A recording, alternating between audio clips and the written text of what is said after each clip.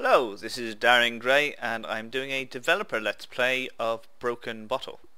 Broken Bottle is a game I made a few years back for the 7 day roguelike challenge. Uh, and it's a sort of post-apocalyptic game where you play an alcoholic in a sort of abandoned mine shaft. Uh, let's just get started on the game. You can see some of what it's about. Uh, developer Let's Play, for those that haven't seen one before, is where a developer Let's Plays their own game.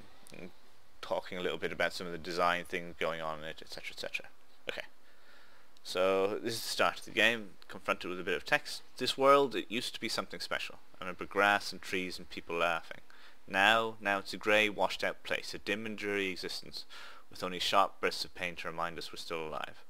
How little I care these days. It feels like I'm looking at life through the bottom of a broken bottle of whiskey, the drips of brown liquid blurring all the light and colour, the cracks of glass distorting figures into ugly, jagged shapes. God, I need a drink. So this is you, this little at sign, moving about. Uh, if I go into my inventory, uh, I've got some stims, a bottle of vodka, a bottle of whiskey, and some bullets. And I've got a blunt knife and a revolver. Uh, this is some of my stats over here. Uh, level, strength, life, stamina, and groggy, indicating my current uh, intoxicated state. If I bump into this G here, it's a guard, he, uh, he soldier, boss suit, look sharp and he gives a little bit of backstory to the game, your quest, what you're kind of doing here. Um, and the idea is that you've been given a gun and two bottles of spirits, and your mission is to try and find the surface. And it's considered to be a bit of a suicide mission. So let's see what there is to do in this game. Now the, the levels are randomly generated each game, uh, using fairly simple techniques to be perfectly honest, uh, nothing very special. Um, so let's see, the mines. These uh, higher areas have been sealed off for a long time by the military because of the radiation. But a lot of holes have been dug around so they sure ain't empty. I've not been up here before myself, but I've heard some stories that it ain't a nice place to be. Animals, bandits, piranhas, junkies, they all infest this dirt hole. I better watch myself. So, we got some enemies up here, an R and a D, and R is a black rat. Wherever we go, they follow. For millennia they rebelled in the filth we create, and even after the end of the world they feed in our putrescence. Lovely! Feral dog. Years of neglect have turned this once domesticated animal wild. Now they hunt in packs, feeding off the weak. Okay, so if I will move towards them, uh, I can attack them. Just moving with the arrow keys here, or you can use the numpad, which lets you move to... Ah, shit! Oh, I've died. It is a roguelike. You die. Okay. Fuck. Um, okay, let me let me try that one again. Whew. Bill! Welcome to the world. Come, let's go. Uh, so, got a different level this time. Uh, going to attack that dog. Uh, it is actually quite a, a, difficult game to start off in. Enemies can overrun you. You do have to keep an eye. Oh shit! eye on your health, consider tactical positioning, that sort of thing. Um, I believe roguelikes have an important role to play. I'm just going to take a stim to restore my health. Roguelikes has a particular role to play in, uh, in really getting you into the game. You've got permadeath and you've got procedural content, so every every game is new and fresh, and every decision really matters. And it means that you care about what happens to your character. It's often been said that seeing a character having your 27th level dwarf barbarian die in a roguelike is so much more emotionally affecting than seeing a pre-written character die in a cutscene in a, in a modern AAA game. And you know, a lot of roguelikes don't bother to try and have serious themes or anything, but you still get very emotionally invested in them. Permadeath and procedural content combined together to make this very uh, very gripping experience that makes you really care about your character and really identify with your character in a way most other games just cannot achieve. So I wanted to go further with that in Broken Bottle and make a character that you would really feel for. And it does something different from most roguelikes in that you'll see that a lot of these descriptions are written in the first person. Uh, I see an item here. I strike at the feral dog. Um, I hit the rat Uh, oh, I've had a little level up. I will increase my strength. It has some basic RPG mechanics in the game, mostly to add a little bit of flavour to the progression as you go through. Oh shit! Loads of uh, J's! These are stim addicts. Uh, stim addict. Lots of people give up on this life, handing themselves handing themselves over to the joys that only narcotics can provide. Who can blame them when everything else is pain? This junkie's skin is pockmarked with open sores, and bones seem to jut out from her anorexic flesh. She looks at me with her vacant eyes, and suddenly the light of greed arises. Now, I want to...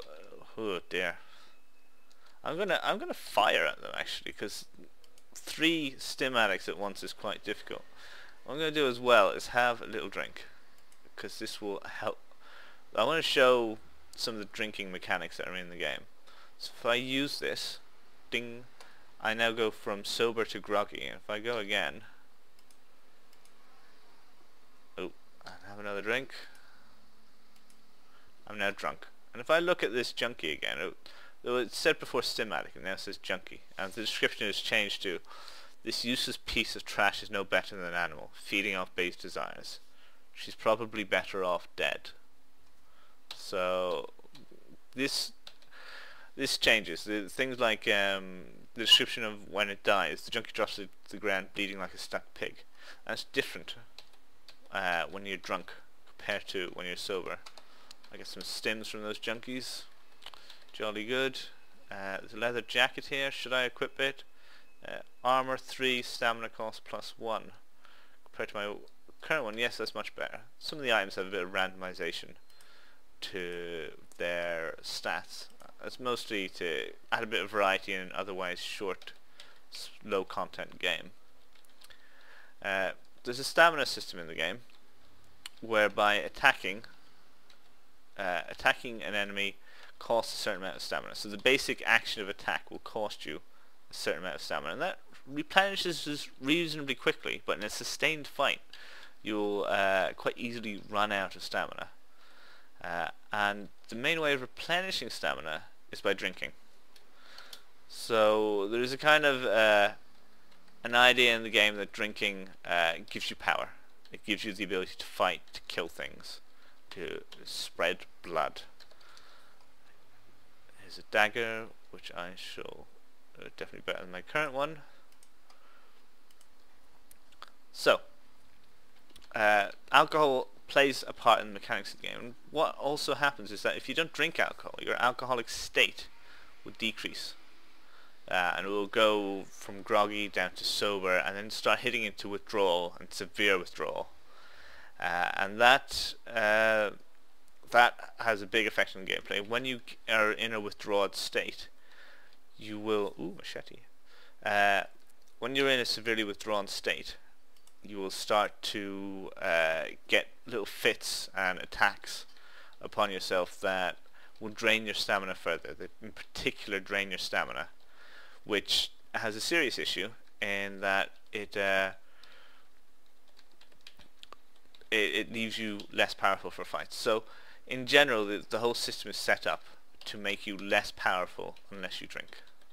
And it's an important kind of message in the game because you end up um, you end up becoming reliant on alcohol to survive and that's kind of what the game's about. So I've just gone through the game a few levels there and I'm on to the next level here which is the caves. a little bit of story text here. I hear a distant high-pitched laugh, a giggle echoing through the cavernous halls. Several voices chant in unison. Na na na na na. Oh shit. Piranhas. The war left a lot of orphans behind, and in our violent society more are made all the time. And who can look after kids in an age like this? Hard enough to feed herself. So they're left homeless, roaming the streets and the mines begging for scraps or stealing what they can to survive. Some of them band together into groups, marking out their own territories, attacking anyone that comes near. This is the last thing I need right now. Fucking piranhas. Piranhas are one of the more interesting parts of the game. They're based off uh, Peruvian street gangs uh, they've got this problem in Peru of, of bands of homeless children coming together and attacking tourists en masse and, and just grabbing everything that the tourist has. Uh, so the local police uh, shoot them and that is seen as wrong by the tourists, but at the same time they don't like being attacked en masse by the, these gangs of street kids that, that you know you can't really do anything about. You can't hit them. They're only kids. Uh, it's an interesting moral dilemma. How do you deal with uh, uh, a sort of opposition like that? And I want to play with that idea a little in this game. And if we find some piranhas, hopefully you'll see how they're implemented in this and how how the game plays with that idea. Oh shit, okay. Here we go. Piranha, young girl. As the large bright eyes shine out from the small grubby face, the young girl is dressed in rags, grime covering every inch of her soft skin, her hair sweeping backwards in untended knots. And I've just seen on the log here, the girl grabs at me and steals my bottle of vodka. The young girl grabs at me and steals my stimps. They're stealing my stuff. They're actually taking my possessions away. My inventory is looking slimmer than it was. How do you get those things back? Well, if you try and attack them, I'm just trying to move in, or try and click on them, says, I raise my hand to attack, but no, no I won't. I've done enough bad things in life, I don't want to kill a child. Now that's what happens, uh, and if you try and chase them, they run away. And they can get stuck in a corner like that, but you still won't attack it. Unless you have a drink. I take a swig, I put the bottle to my lips and sip slowly. It hurts, but I want more. I've got to take a few drinks there. I'm now at drunk status. And if I hover over this, what was a young girl, now says piranha instead of young girl. And the description has changed. Goddamn piranhas drive me fucking mad. They reach with their dirty thieving fingers and then run away before you can lay a hand on them. Little bastards. And if I now go up to this piranha and attack it, the bloody piranha shudders and her small body falls to the ground. Ugh. And here's my things. Here's the things that that young girl stole, which I have now reclaimed by getting drunk and attacking her. So, when you're sober,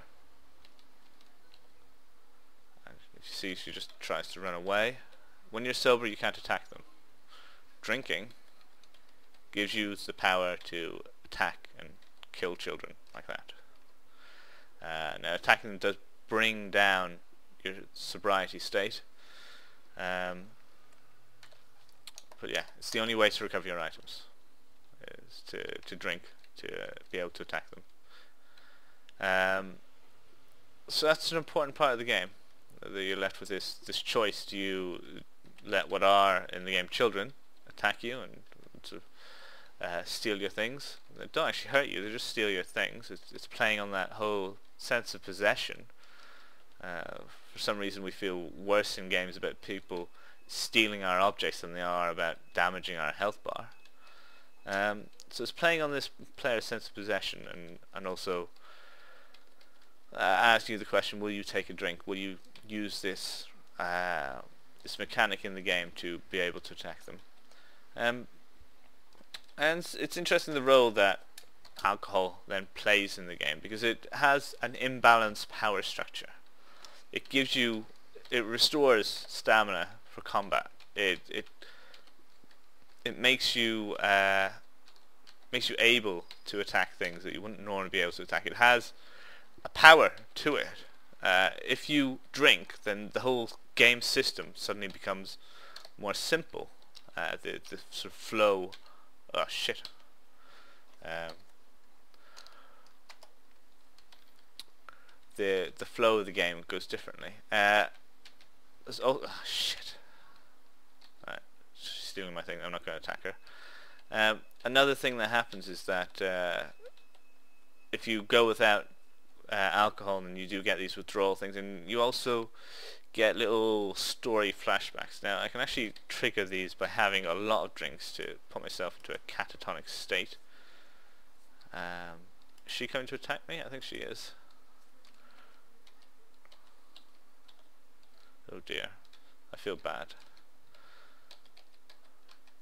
Um, you get these these flashbacks and I'll just show you a couple of these. Uh, they normally happen when you are severely withdrawn and it will lead to you kind of uh, collapsing in the game. Um, but if you drink a lot, like really overdo it, then you also, here we go, Uh, you also collapse and have these, these dreams come back to you. I see a woman, she's shouting. I shout back, but she won't listen. She never listens. Who is she to judge me or what I do? I try to make her shut up. I'm angry and I grab her. She resists.